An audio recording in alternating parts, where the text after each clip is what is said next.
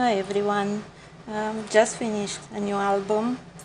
Um, this one is made with Stamperia paper, New England uh, collection, and um, it has a lot of blues and lavender colors. And uh, I really loved the pack, uh, paperback, so I decided to turn it into an album, photo album. This time I made the cover a lot simpler without putting anything on the spine. Um, and um, I just made some holes uh, to pass ribbon through. Uh, and let's have a look inside. Once again, I apologize if the video quality is not the best. Um, I'm still working on my lighting. Alright, so here is the first page. It actually has four pages, um, all packed with space to put uh, photos. And here we go. Um, oops, I pulled this one as well. So we have inserts here uh, where you can put plenty of photos and one more that also has a little tag Mm, not sure what it can be used for, but I just thought it looked nice. Um, I am using, as you know, um, a lot of cutting dies. Um, the one that I like a lot is this um, edge die that comes from Netherlands, the Crealies brand. I'm not sure if I pronounced the name properly. I just love it. Um, you know that from my previous books. Uh, oh, hey, I'm not getting anything in return of mentioning it. I just love the dice I'm using, so I feel a need to let uh, people know maybe they want to use it as well. Alright, let me put this one back. Um, oh, I will organize it a bit later.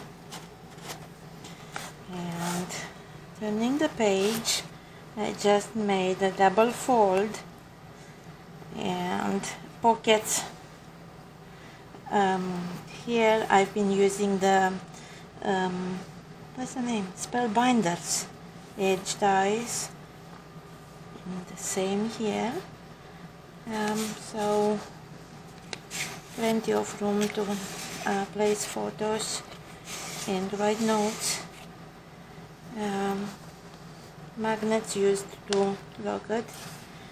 And here is the second page. Um, again, I've been using this opening, um, the double opening that you saw in my previous uh, albums and that I really love. I think I used it twice in uh, this album we'll see.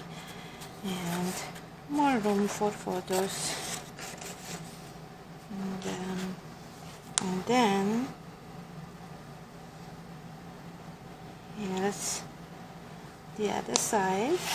And moving on.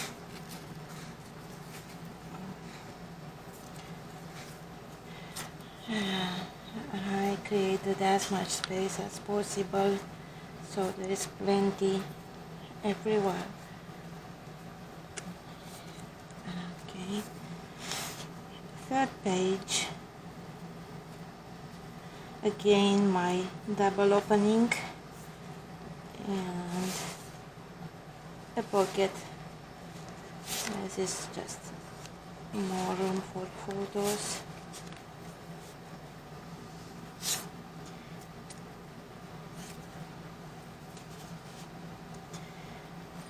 okay and the other side um, here I didn't I was supposed to make a pocket but I forgot and I just glued it all so for now it's just a matter of design but in my next book also I will pay more attention.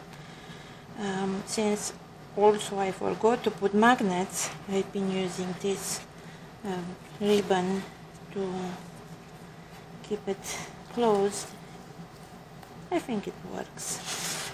Alright, and here again um, a bunch of flaps for photos mm. I absolutely love the colors they're so beautiful um, Stamperia paper it's um, it's amazing the only thing that I don't like about it is that they come in packages of 10 uh, pages double-sided and that's nowhere near enough. So I usually have to get um, about three paper packs for each album. Um, actually I think that soon I am going to get their wedding paper pack and see how I go with it for album in the last page I just made a simple magnet closure and uh, double fold and tags in um, corner pockets. These are again uh, what is the name? I keep forgetting. Spellbinders uh, dies I love them. Sometimes um, some of them are too big for what I need but I can always work with them. And finally the last page um, it's another double fold. Um, I think that this is the Elizabeth Craft design die. um, I just used it in both sides uh, to create another version of the uh, double opening. And again um, plenty of inserts. And here we have even more room. So um,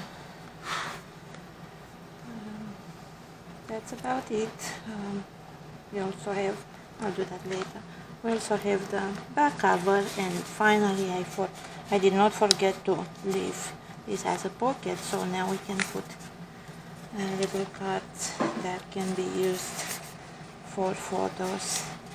And uh, that's it. I am um, going back to uh, graphic 45 for a while so my next two albums um, will be uh, from the graphic 45 collection. Um, I think I am going to start with um, Once Upon a Springtime and then um, Secret Garden uh, two beautiful paper pads um, that can come uh, well depending on what you want to buy in the deluxe version and they also have um, stickers and some chipboard. I will show you as soon as I'm done. Thanks for watching. Bye